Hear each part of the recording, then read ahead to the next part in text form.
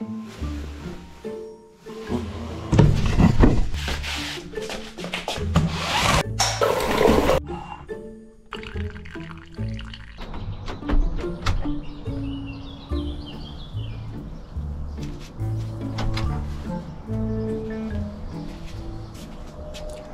papierze wygląda wszystko bardzo legitnie.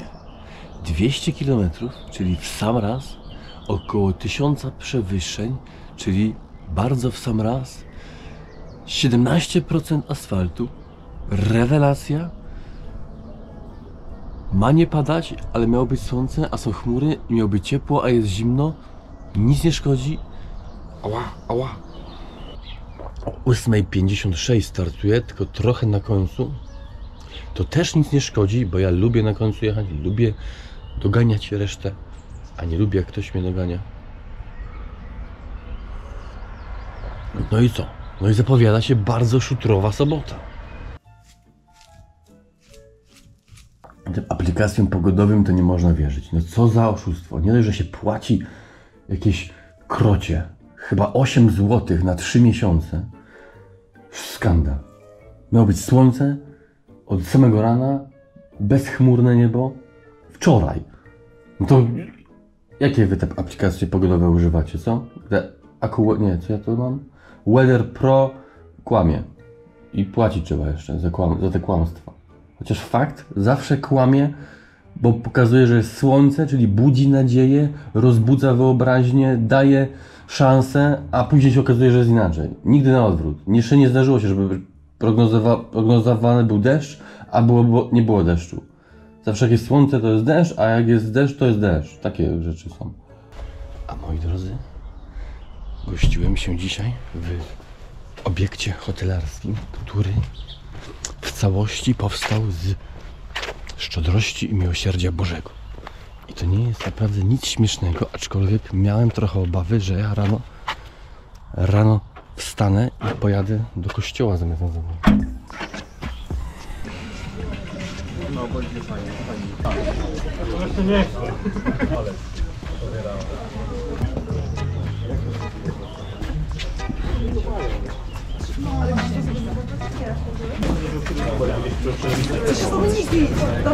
Tutaj jeszcze coś jest.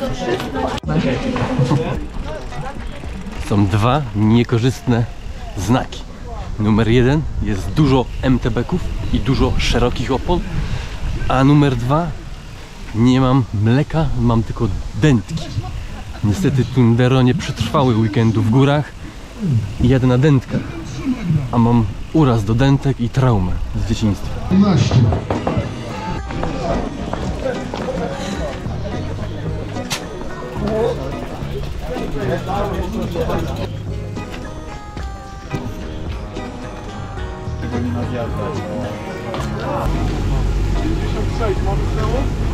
Od pierwszych kilometrów rzucony na pożarcie samotności będę musiał gonić grupki po co dwie minuty były wypuszczane, więc myślę, że nie będzie problemu, żeby złapać jakiś kontakt.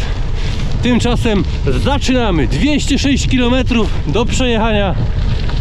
Zobaczymy, co tutaj Łódź i aglomeracja łódzka ma do zaoferowania w kwestiach szuterkowo-gravelowych.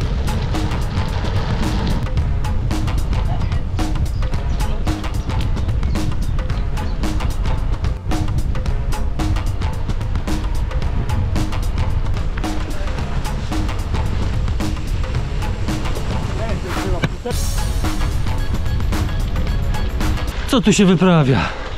Wziąłem dodatkową podsiodłówkę, żeby mieć drugą dętkę, co chwilę mi wypada, muszę się zatrzymywać.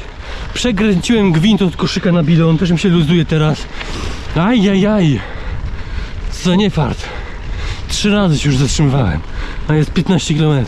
Ogólnie w tym lasku jest cała masa singli ścieżek i zakrętów i tutaj ślady nie ogarniają, wszyscy ciągle się gubią. Za gęsto za gęsto naszpikowane zakrętami.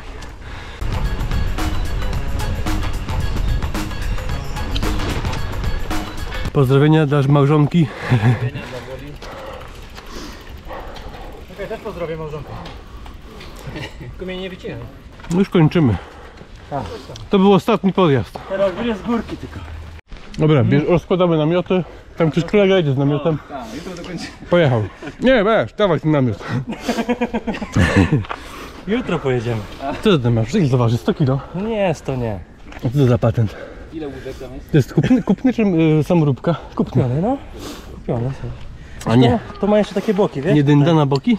Mm, Tutaj mam gumę założoną. A po tych wertepach jak zjeżdżaliśmy ci nie dyndało? No tutaj wciskam gumę i ściągam na maksa. No lepiej się trzyma niż pod siedlówką, nie? Ogólnie on ma tutaj takie boki jeszcze rozkładane. Do, tutaj pewnie do... Nie, nie, w ogóle w powietrzu wiszą. Tylko, że właśnie jak przeskoczy, to ten bok wpada w koło. No, no, no. I trochę są do dupy. A ma jakieś prace. ograniczenie co do wagi? Do iluś tam? 25 kg. 25 kilo. Teoretycznie, ale nie kładłem nigdy tyle, nie sądzę, żeby trzymał. O, Teraz jest 5. Sprawiedliwe, zawodowcy nie powinni zapraszam do góry. Wjeżdżam na jednym kole, bo musimy... zawodowiec.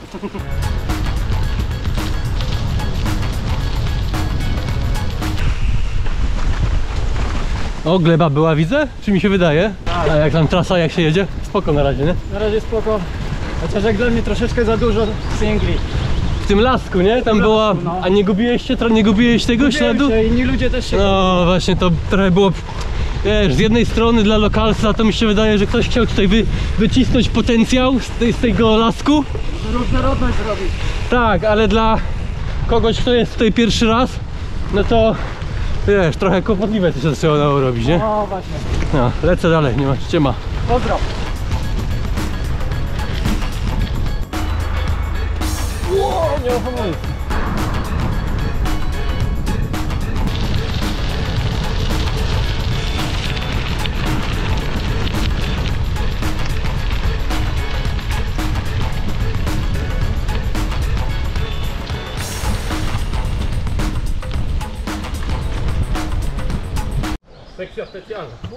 E, niech, ktoś, nie, niech ktoś wpadnie, żeby miał materiał w razie tego, nie? No dalej, proszę, proszę. Żebym ja był? Poka pokażcie jak to się robi. Piąteczka. Kurwa, po, wychodzisz do wody? Kurde, było blisko, no.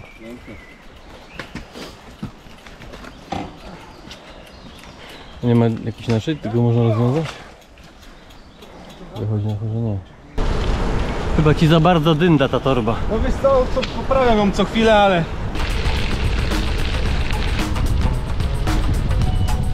Tutaj to mamy solidne premiumy. Sz- sz- Szuterek elegancki. Fajnie, że trochę popadało. Nie jest tak sucho i te odcinki piaszczyste, których w sumie nie ma za dużo, ale i tak są mimo wszystko ubite. Więc zdecydowanie sytuacja na froncie się poprawiła.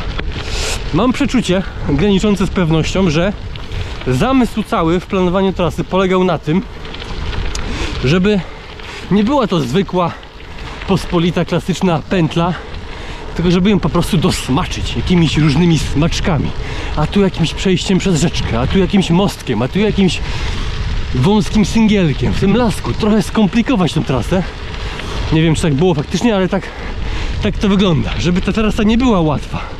No bo umówmy się, w centralnej Polsce, czy też w ogóle w tych rewirach Wielkopolska, no to widokowo tutaj się nie da za wiele ugrać, a taka zwykła pospolita trasa byłaby po prostu nudna. Więc ta jest dosmaczona i wydaje mi się, że tak powinno być. Szkoda życia na łatwe trasy.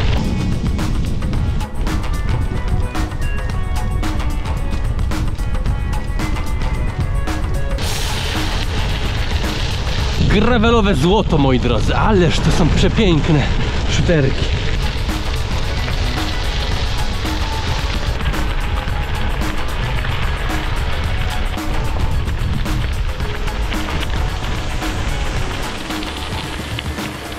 A kuku? O takich smaczkach właśnie mówiłem. Myślałem, że się skończyły, bo się trochę sytuacja wy... O. Myślałem, że, że się smaczki skończyły, bo było bardziej stabilnie, ale widzę, że jednak smaczki wracają, czyli trasa była mocno dosmaczona na... Po... O Jezusie! Mocno dosmaczona na początku. Chwila przerwy. O! O Jezu.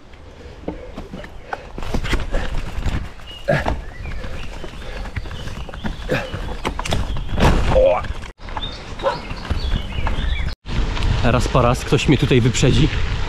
Takie tempo, że nawet nie jestem w stanie się utrzymać, więc paka jedzie tutaj niewątpliwie. Aczkolwiek najbardziej się obawiam. Jestem nawet trochę zestresowany, bo 20 minut po mnie wystartował Marcin, taki znany youtuber. Trochę z twarzy podobny do bushcraftowego, ale jakby taki bardziej z poczuciem humoru.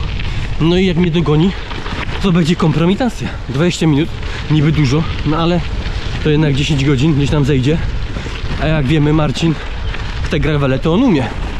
Raz tam mu nie wyszło na jednych zawodach rok temu, ale tutaj podejrzewam, że nogę pod ręką to ma mocną. Więc spoglądam się co jakiś czas i czuję presję. Dojeżdżamy do stówki. Trzeba będzie zrobić jakieś zakupy za chwilę. Uzupełnić wodę, bo się skończyła. No i co? I druga stówka i do domu.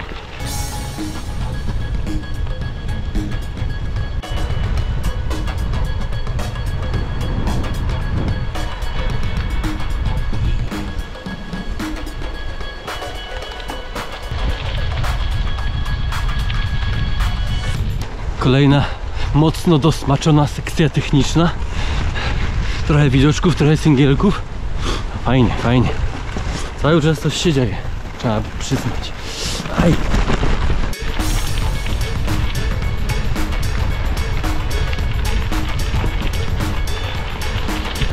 Kolejna partia solidnych shooterków, a przed chwilą kolega Przemek, no niestety 25 minut wyjechał po mnie i mnie dogonił po 5 kilometrach, aczkolwiek przepotężna łydka i duża ilość karbonu, więc to się musiało wydarzyć. Natomiast elektroniczny SRAM chyba najwidoczniej zawiódł, bo kolega został w tyle i go nie widać. Więc mój stary, poczciwy rejwalek, jak widać, mechaniczny, czasami też ma przewagę, ale tu jest klimacik. Chciałem jeszcze powiedzieć, że, że frekwencja wyjątkowo dopisała. 300 osób chyba dzisiaj wystartowało. W zeszłym roku około stówki, więc trzykrotnie frekwencja została przebita. Aczkolwiek jest jedna przykra sprawa. No bardzo nieładne zachowanie. W tym roku chyba nie było tego, ale w zeszłym roku było to na pewno. Mianowicie 100 osób było zapisanych, opłaconych, a drugie 100 sobie przyjechało na gapę po prostu, żeby się ustawić i przejechać w tym samym czasie. Więc to jest bardzo nieeleganckie zachowanie. Nie po to ktoś miesiącami przygotowuje, organizuje imprezę, żeby się wrąbać, wtrambolić na, na krzywą japę. Można sobie GPX ściągnąć i przejechać traskę w innym terminie, ale hamsko w tym samym terminie razem z całą ekipą jechać, no to nie, to nie jest kulturalne zachowanie. Nie popieram czegoś takiego i teraz wstydźcie się, każdy kto tak robił, albo może każdy kto chociażby miał taką myśl. Przecież to wszystko widać, każdy o tym wie.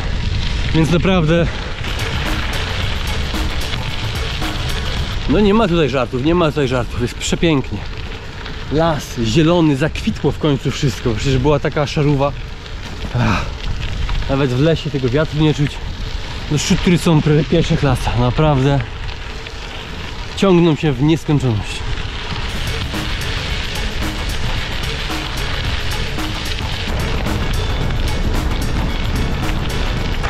Tu jakie widowisko, proszę.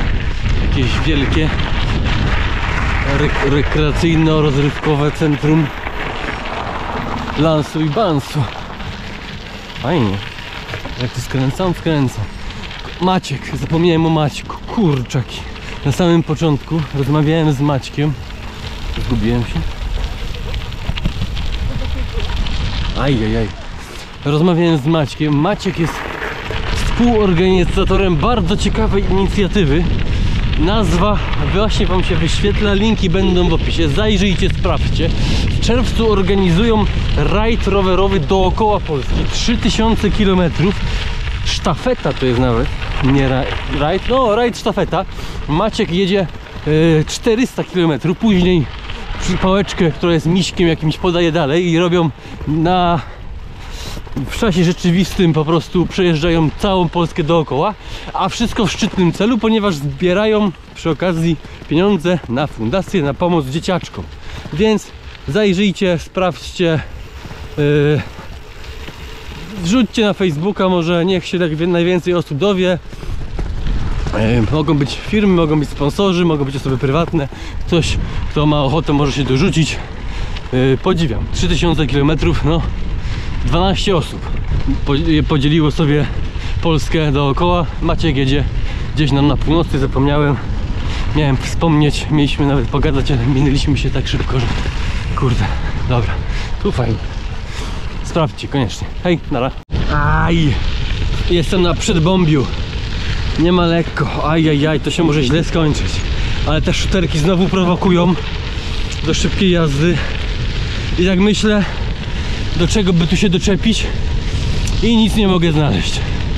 Teoretycznie można byłoby się doczepić do tych zawijasów na początku w tym lasku, ale niestety skala problemu jest zbyt niska, więc nie mogę się doczepić.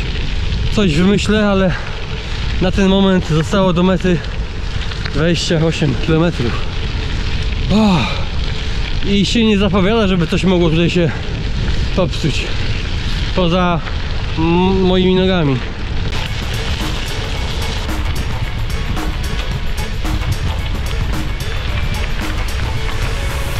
Nie wierzę, no 8 km przed metą. No nie wierzę, no wiedziałem, że tak to się skończy. 6 km przed metą. Czy to jest y, smalec wege, czy to jest smalec... Tutaj, z tej strony zapraszamy. Nie wiem. Dość, tak? Wege? No, ja, ja, mogę, ja mogę chcieć, tak. To tutaj, a tu jest taka kapustka też, wersja wege, tylko... Po co ja to robię? Mam. Wiem, do czego się mogę przyczepić. Trochę na siłę, ale mogę. Mianowicie, oczywiście to nie będzie dla każdego, ale, ale yy, na przykład miejsce, lokalizacja, jeżeli chodzi o bazę wyścigu. No to samo miejsce jest ok, no tam jest y, jakiś ośrodek gminny, nieważne. Natomiast y, nie ma, fajnie jakby było, jakiś ośrodek wypoczynkowy z jeziorkiem. Dlaczego? Na przykład zabieramy rodzinkę, przyjeżdżamy, bierzemy sobie nocleg od piątku do niedzieli, jest restauracja, są noclegi, jest jeziorko, yy, w piątek można spędzić miło południe, w sobotę się zażynamy w trupa, wieczorkiem znowu spędzamy miło południe, w niedzielkę chillaucik i do domku. Tutaj yy, nie ma możliwości noclegu, można było namiot rozbić, no ale z rodzinką pod namiot to różnie. W okolicy niby są jakieś hotele, pensjonaty, ale najbliższy jaki znalazłem, moja willa to było 12 km stąd. Więc też słabo, żeby tak sobie podejść, tylko pokibicować ten kawał. No i też tam w okolicy nie było ani, ani jeziora, ani nic, więc, więc, więc nie dla rodzinki tutaj wchodzi w grę.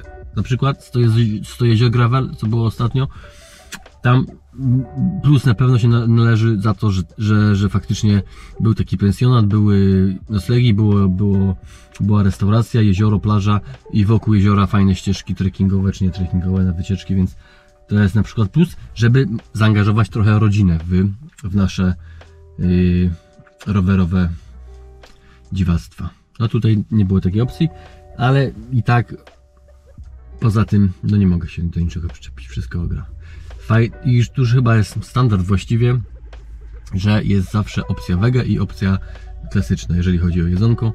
Jakieś dziwne potrawy, nazw, których nigdy w życiu nie słyszałem, więc regionalne, regionalne jedzonko, czyli tak jak powinno być. I piwko, tak jak powinno być. Bezalkoholowe akurat dla mnie.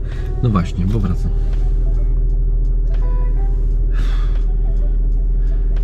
Harpagany straszne tutaj. Nie, nie wiem, który byłem, ale szału nie ma. Coś czujesz? Szału nie ma.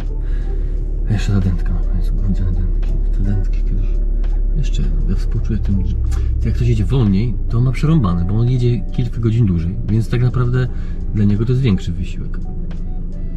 Ktoś przejeżdża szybko w 7 godzin, to ma po 7 godzinach fajne. Nara.